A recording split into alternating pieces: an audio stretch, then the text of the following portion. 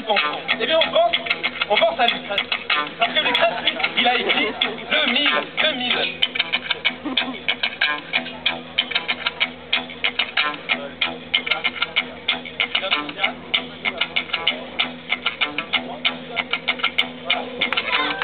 Et alors, Lucrèce, il a traversé. Il a écrit 7500 vers et traversé 2000 ans qui sont venus jusqu'à nous.